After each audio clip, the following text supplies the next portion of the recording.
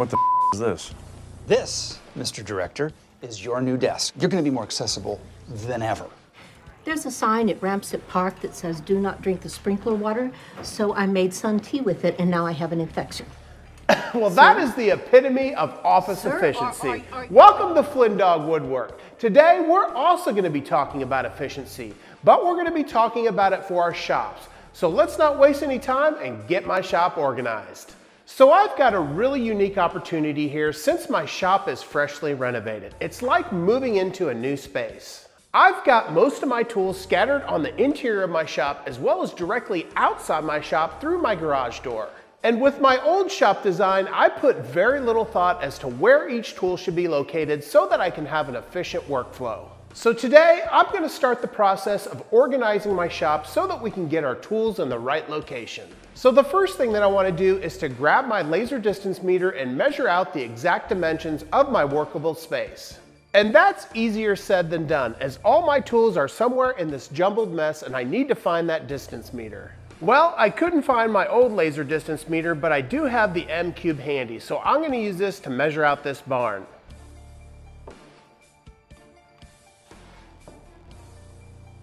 So after taking all my measurements, these are my chicken scratches for the dimensions of this workable space. Now I'm gonna take this and draw it to scale.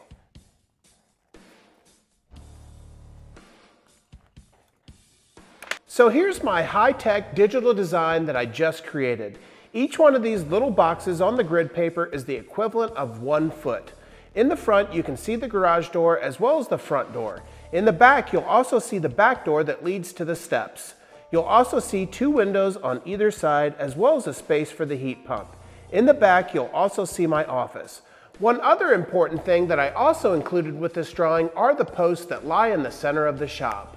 So now that we have the general layout of the space figured out, it's time to start thinking about tool placement. And for this process, I'm going to use a tool that was created by this guy. That's right, Jonathan Katz-Moses. You see, on his website, he's got a tool that gives you the general parameters for what space you'll need around each tool. This means it gives you the in-feed, the out-feed, as well as the area around each tool that you'll need in your shop. And here's a screenshot of some of the tools that he includes. As you can see, he gives you both the in-feed and out-feed for larger items like a table saw, as well as some of those smaller items like a bandsaw or a drum sander. Now I'll leave a link in the description below so that you can go check out this tool for yourself, but I will give you a fair warning, you are gonna get a lot of emails from his company. I've been getting about one email a day since I signed up for this tool. So enough about that, let's get started on trying to organize this jumbled mess. And we're going to place our first tool. Now for me, the first tool that I wanna place is the table saw, and that's because it's the workhorse of my shop. So I want this tool to be directly in the center of the shop. But in order to do that, let's first get a measurement of the dimensions of the saw. So if I measure out the length and the width, I get about 69 inches long by 32 inches wide. So for the purposes of this initial layout, I'm gonna round that to about three foot deep by six foot wide. So now we can go back to my high-tech drawing. Since we know each one of these boxes is one foot by one foot, I know that my table saw will be three foot deep by six foot wide. So by measuring the table saw to scale, I can put it directly in the center of my shop. Now the nice thing about having a scale drawing is I can count each one of those individual boxes on the grid paper to figure out the exact placement of this table saw. So by counting each one of these boxes, I can figure out how far it needs to be from the wall and back. And in this case, it's 13 and a half feet. But I can also do this for its relative position to the other walls as well. So if I count the boxes on the left-hand side of the table saw, I know there's 11 boxes here. So this needs to be 11 feet from the side wall. So now let's take those measurements and place this table saw where it needs to go. So here's the placement of the table saw. I've measured everything out and I even confirmed it with a laser distance meter. Let's zoom out and take a look. And hopefully you can see here that table saw is directly in the center of these four pillars.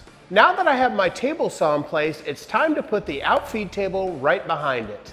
Now it's been so long since I've had my shop together that you probably even forgot I have to finish that table for my wife. So now that I have the table saw in place as well as the outfeed table, let's go back to the drawing board. So here you can see I've placed my outfeed table to scale on my drawing. Before we move on to placing any more tools, let's go back to that Katz-Moses tool. So one of my favorite things about this tool is you can see the suggested infeed and outfeed as well as the space you need around each tool that you're placing. And this becomes especially important when working with tools like the table saw, the miter saw, the jointer, and the planer. And all of these tools have a suggested workspace of 16 feet. That's 8 feet for the infeed and 8 feet for the outfeed. So even though my jointer has a footprint of 6 feet, I need to extend this by 10 feet. 5 feet in the front and 5 feet in the back. And this is something that I never considered in the placement of tools in my last shop. So I was constantly fighting those posts in my shop as well as my walls. So since I have the ability to address these issues now, I want to go back to my drawing and figure out a good placement for my planer and my jointer. And that's because these two tools are some of the first tools that I ever use in my shop once I get some new lumber. And since my lumber storage is directly outside of my shop, I wanna have these tools fairly close to this position. And in my mind, I envision the planer being in this position and the jointer being in this position. So I'm gonna do some calculations with this scale model to see if they'll fit. So I'm gonna go back to measuring the dimensions of my planer and jointer and see how they'll fit in my scale model. So this is a great example of why it's nice to have a scale model. As you can see from this red outline here, that's the footprint of the jointer. The shaded area in the front and the back is the area that I'll need for the infeed and outfeed. As you can see here, there isn't enough room for the planer. So what I'm gonna do is make a pivot and move my outfeed table and my table saw a little bit to the left so that I can fit my planer right in here. And there really isn't a whole lot of movement here. I'm gonna move the outfeed table as well as the table saw just six inches to the left.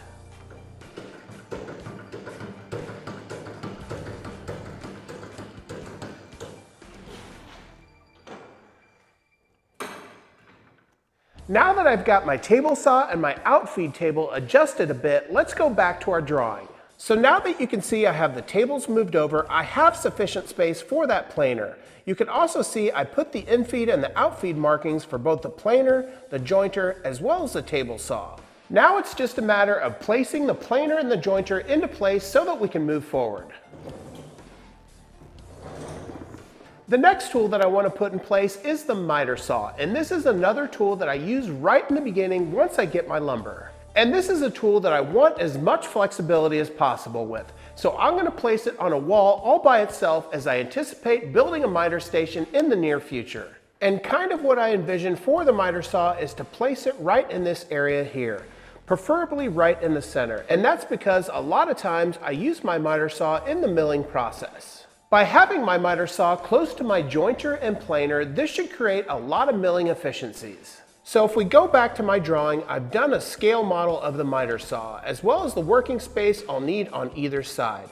And this is 12 feet from the front of the shop. So I'm gonna go place my miter saw and we'll move on from there. So with my tape measure measured out to exactly 12 feet, I can grab my miter saw and put it into place.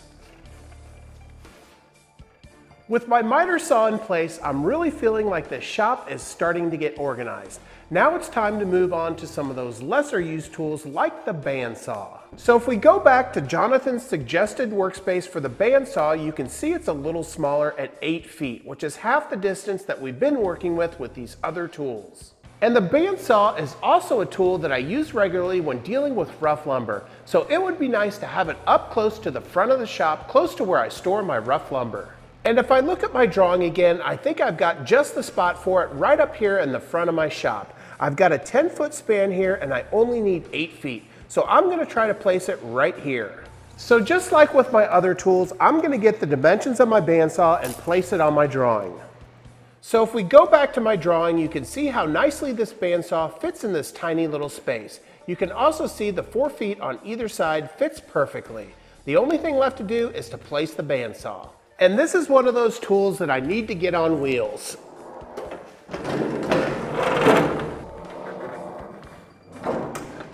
And that's where she'll stay. So now that we have the bandsaw in place, there's really only one more major tool that I need to place, and that's the drill press. And for this tool, I want to take advantage of some of the outlets I placed on my post. So let's go back to the drawing and see if there's a place for this drill press. So if I look at my drawing, I'm thinking that this post may be the perfect spot for my drill press. So the next thing I need to do is to take the dimensions of my drill press and see if it will fit right here.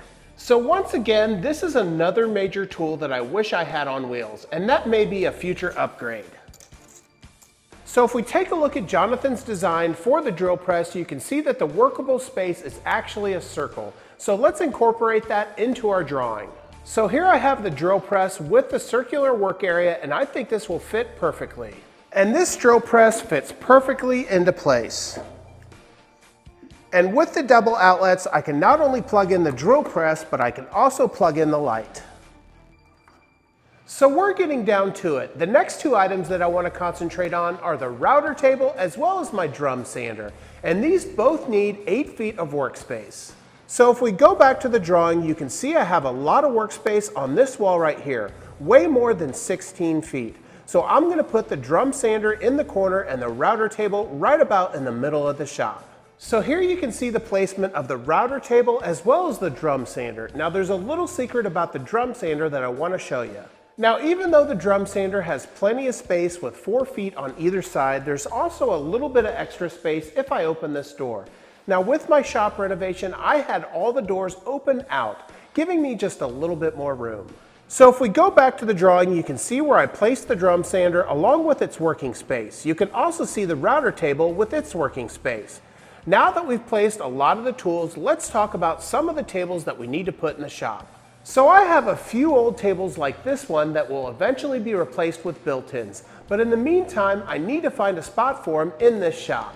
I also have this bench as well as this bench that will need a home as well. I also have my sanding station as well as another bench in front.